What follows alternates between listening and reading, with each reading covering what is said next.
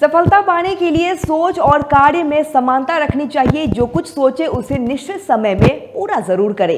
नमस्कार, बोलते तारे आप देख रहे हैं। आपके साथ मैं हूँ सोनाली ठाकुर। आज बात करेंगे एक फरवरी 2023 के आपके तारे क्या बोलते हैं? यानी आपका राशिफल क्या है? लेकिन उससे पहले क्या आपको पता है कि धार्मिक ग्रंथों में एकादशी और पूर्णिमा के व्रत को सर्वोच्च बताते हुए इसके अनन्य महिमा कही गई है। वही एक वर्ष में कुल चौबीस एकादशियाँ जिसमें बारह कृष्ण पक्ष और बारह शुक्ल पक्ष में आती है। ये सभी किस महीने में आती है? इस आधार पर अलग अलग नाम दिए गए हैं। माघ महीने यानी एक फरवरी को जया एकादशी है। इस दिन भगवान विष्णु के उपेंद्र रूप की पूजा होती है। विष्णु जी के साथ देवी लक्ष्मी की पूजा की भी विधान है।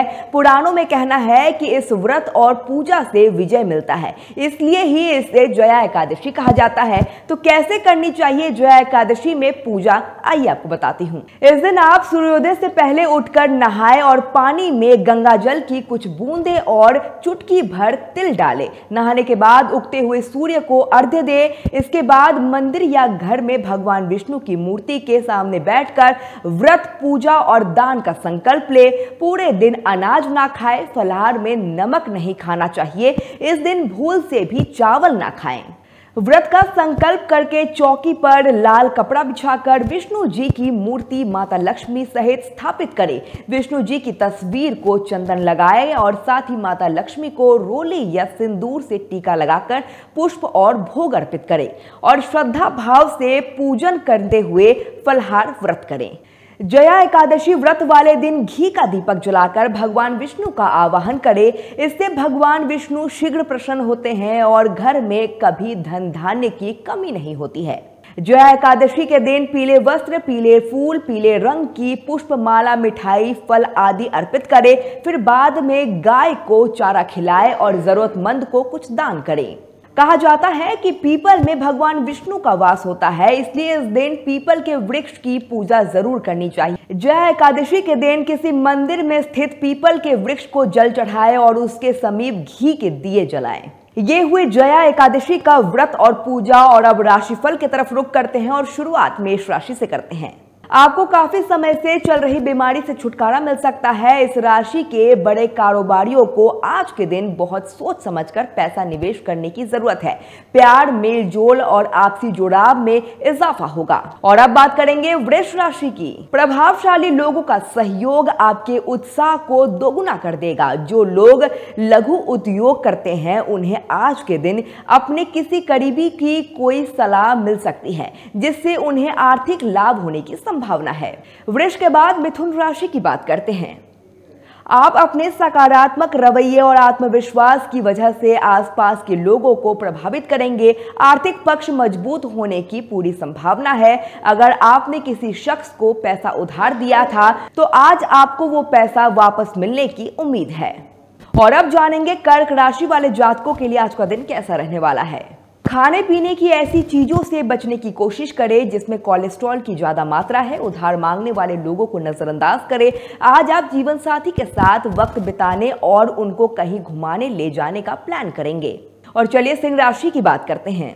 आज आपकी सेहत पूरी तरह से अच्छी रहेगी। अचानक नए स्रोत से धन मिलेगा, जो आपके दिन को खुशनुमा बना देगा। बढ़िया दिन है जब आप सबके ध्यान को अपनी तरफ़ खींचेंगे। अगर आप अपने काम पर ध्यान दें तो कामयाबी और प्रतिष्ठा आपकी होगी। सिंह के बाद कन्या राशि की बात करते हैं। दोस्तों का रुख सहयोगी रहेगा और वे आपको खुश रखेंगे। आर्थिक तौर पर सुधार के चलते आप आसानी से काफ़ी वक्त से लंबित बिल और उधार चुका सकेंगे। परिवार के सदस्यों की जरूरतों को तरजीह दें। कन्या के बाद तुला राशि वाले जातकों के लिए आज का दिन कैसा होगा, ये जान लेते हैं। कुछ ऐसी घटनाएँ आपकी परेशानी का कारण बन सकती है जिन्हें टालना मुमकिन ना हो। लेकिन आप खुद को शांत बनाए रखें और हालात से निपटने के लिए तुरंत प्रतिक्रिया ना करें। निवेश के लिए अच्छे दिन है, लेकिन उचित सलाह से ही निवेश करें। और अब बात करेंगे वृश्चिक राशि की। अपने बच्चों का प्रदर्शन आपको बहुत खुशी देगा। केवल एक दिन को नज़र में रखकर जीने की आपकी आदत पर काबू करें और ज़रूरत से ज़्यादा वक्त और पैसा मनोरंजन पर खर्च ना करें। आपकी ज्ञान की प्यास आपको नए दोस्त बनाने में मददगार साबित होगी। सावधान रहे क्योंकि प्यार में पड़ना आज के दिन आपके लिए दूसरी कठिनाइयाँ खड़ी कर सकता है। चलिए अब बात करेंगे धनु राशि की और जानेंगे धनु राशि वाले जातकों के लिए आज का दिन कैसा रहने वाला है। आशावादी बने और उजले पक्ष को देखें। आपका विश्वास और उम्मीद आपकी इच्छाओं और आशाओं के लिए नए दरवाजे खोलेगा। पुराने निवेशकों के चलते आय में बढ़ोतरी नज़र आ रही है। जीवन साथी आपका ख्याल रखेगा। चलिए अब बात करेंगे मकर राशि की। अगर आपकी योजना बाहर घूमने फिरने की है तो आपका वक्त, हँसी, खुशी और सुकून भरा रहेगा। आज के दिन आप ऊर्जा से लबरेज रहेंगे और मुमकिन है कि अचानक अनदेखा मुनाफा भी मिले। आपके जीवन साथी की सेहत आपको चिंता में डाल सकती है। चलिए मकर के बाद कुंभ राशि की बात करते हैं। सामाजिक मेलजोल से ज़्यादा सेहत को प्राथमिकता दी जानी चाहिए। आज के दिन निवेश करने से बचना चाहिए। जिसके साथ आप रहते हैं, उससे वाद विवाद करने से बचिए। यदि कोई समस्या है तो उसे शांत से बातचीत करके सुलझाएँ।